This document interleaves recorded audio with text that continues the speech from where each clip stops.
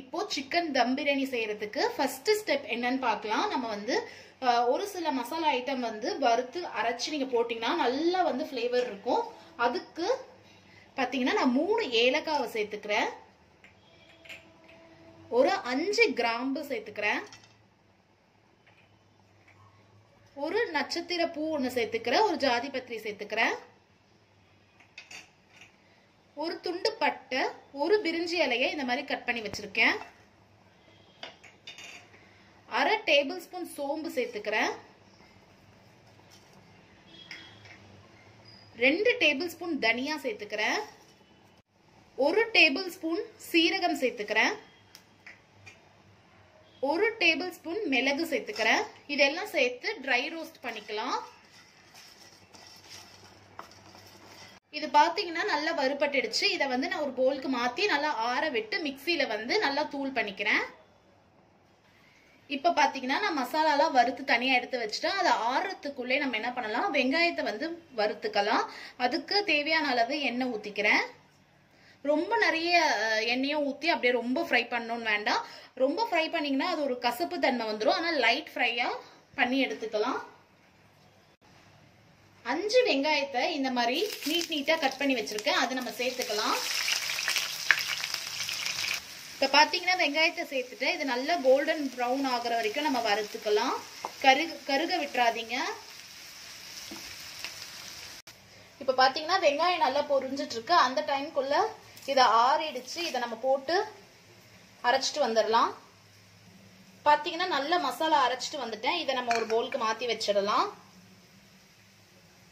இப்போ பார்த்தீங்கன்னா நான் ஒரு போலுக்கு மசாலா நல்லா மாற்றிட்டேன் அடுத்தது பார்த்தீங்கன்னா ஒரு கொத்து கொத்தமல்லி எடுத்திருக்கேன். ரெண்டு நீட்டு பச்சை மிளகாய் எடுத்திருக்கேன். ஒரு எட்டு பல் பூண்டு ஒரு சின்ன துண்டு இஞ்சி.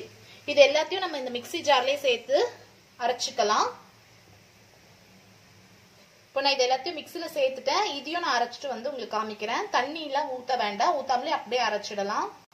இப்போ பார்த்தீங்கன்னா இஞ்சி பூண்டு பச்சை மிளகா அதையும் நல்லா அரைச்சிட்டு வந்துட்டேன். இதையும் நம்ம ஒரு போலுக்கு மாத்திரலாம்.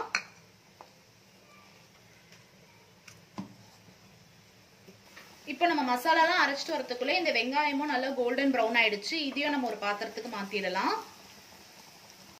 இப்போ நம்ம முக்கால் கிலோ அளவுல சிக்கன் எடுத்து வச்சிருக்கேன். இதை வந்து நம்ம மேக்னேட் பண்ணி வச்சிடலாம். அதுக்கு நம்ம இஞ்சி பூண்டு எல்லாம் போட்டு அரைச்சு வச்ச விழுத சேர்த்துக்கலாம்.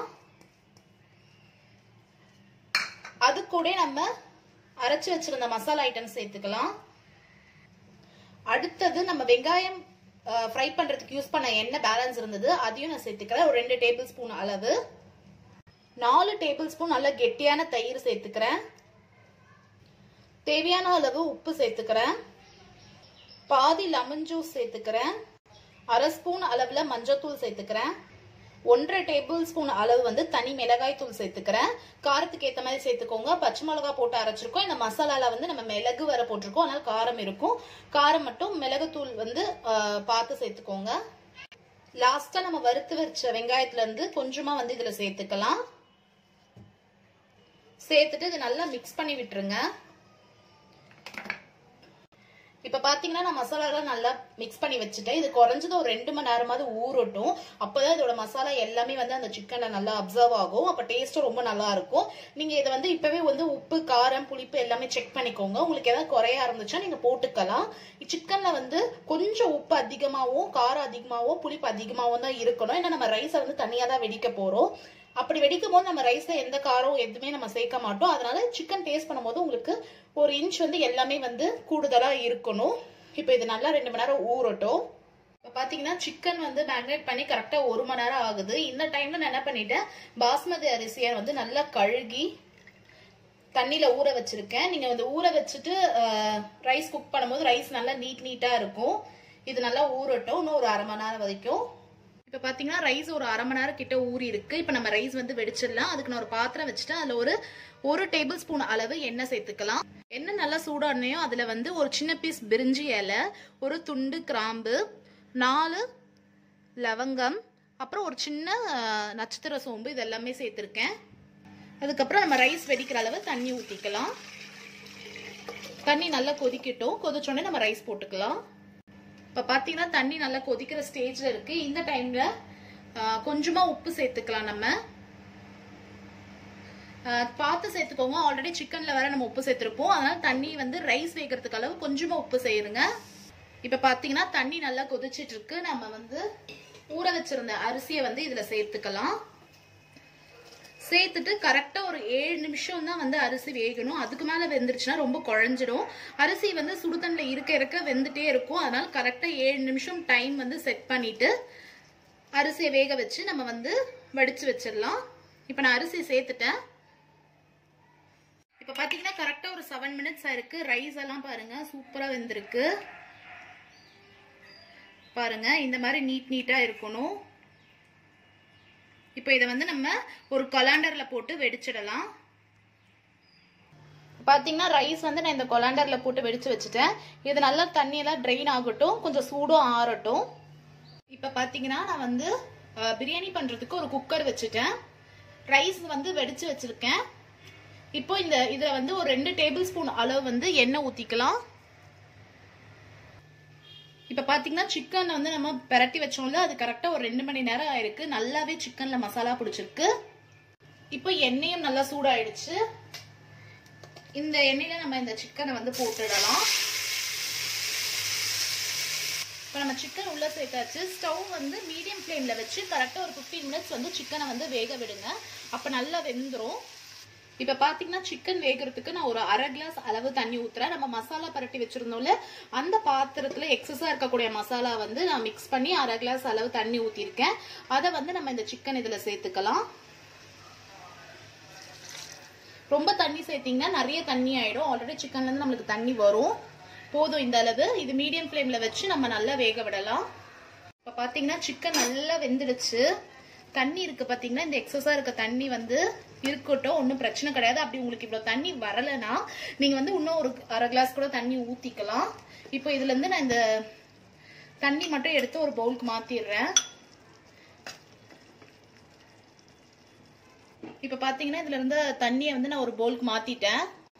இப்போ இந்த சிக்கன் ஒரு லேயர் இருக்கு. அடுத்த லேயர் நம்ம வெடிச்சு வச்சிருந்த ரைஸ் வந்து போட்டுக்கலாம். இப்போ வெடிச்சு வச்சிருந்த ரைஸ் ஒரு லேயர் போட்டாச்சு. அதுல கொஞ்சமா வந்து கொத்தமல்லி போட்டுக்கலாம். கொஞ்சமா வந்து புதினா கிள்ளி வச்சிருக்கேன். அதையும் போட்டுக்கிறேன். அடுத்தது நம்ம ரெடி பண்ணி வச்சிருந்த ஃப்ரைட் ஆனியன்ஸையும் வந்து போட்டுக்கிறேன். கொஞ்சமா. அடுத்தது பால்ல கொஞ்சமா வந்து கேசரி பவுடர் கலக்கி வச்சிருக்கேன். உங்களுக்கு வேணா நீங்க குங்கும பவுடர் கூட போட்டுக்கலாம். இத வந்து கொஞ்சமா அங்கங்க ஊத்திக்கிறேன். ஒரு கலருக்காக தான் இது. அடுத்தது வந்து ரெண்டு டேபிள் ஸ்பூன் அளவு நெய் வச்சிருக்கேன். அதுல ஒரு டேபிள் ஸ்பூன் இப்போ கொஞ்சம் விட்டுக்கிறேன். இப்போ ஒரு லேயர் ரெடி திருப்பி நம்ம எடுத்து வச்சிருந்தோம்ல ஒரு பவுல்ல அதோட ஜூஸும் அப்புறம் வந்து ஒரு ரெண்டு பீஸும் வந்து போட்டுக்கிறேன். மறுபடியும் ஒரு லேயர் ரைஸ் போட்டுக்கிறேன்.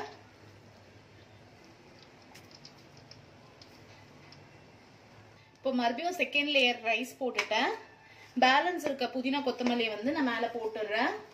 நான் முன்னாடியே வந்து கொத்தமல்லி சேர்த்துக்கல அதனால கொஞ்சம் எக்ஸ்ட்ராவே சேர்த்துக்கிறேன். நல்ல ஃப்ளேவர் இருக்கும். நீங்கள் அந்த கொத்தமல்லி சேர்க்கும் போது கொத்தமல்லி புதினா ரெண்டுமே. அதுக்கப்புறம் நம்ம வறுத்து வச்சிருந்த ஃப்ரைட் ஆனியன்ஸ் வந்து மேலே போட்டுக்கிறேன். இந்த ஆனியன் தான் நல்ல ஃப்ளேவர் இருக்கும். பிரியாணிக்கு.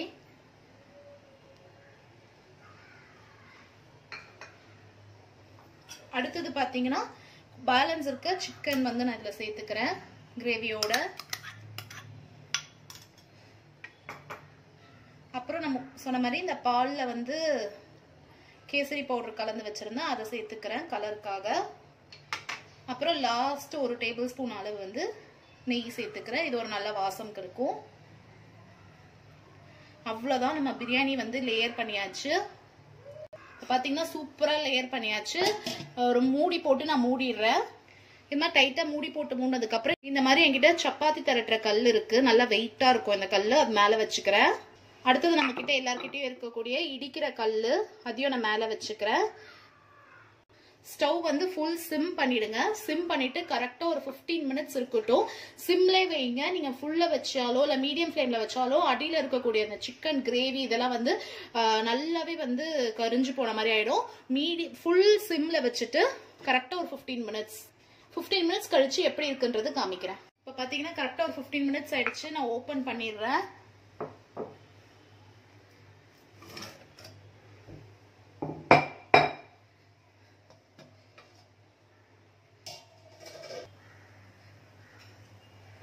பாருங்க எவ்வளவு சூப்பராக இருக்குன்னு.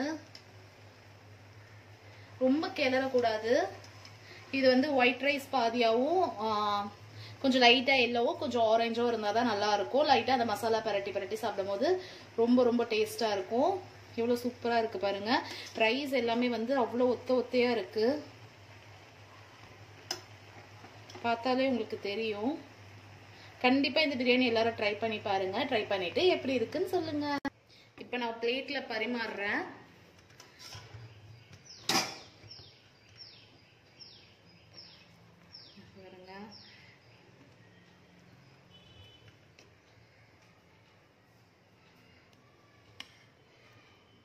ரொம்ப நல்லா இருக்கும் இந்த பிரியாணி. தயிர் பச்சடி அப்புறம் ஒரு முட்டை வைக்கிறேன். இவ்வளோ சூப்பராக இருக்கு பாருங்க. பார்க்கவே அவ்வளோ நல்லா இருக்கும் கண்டிப்பாக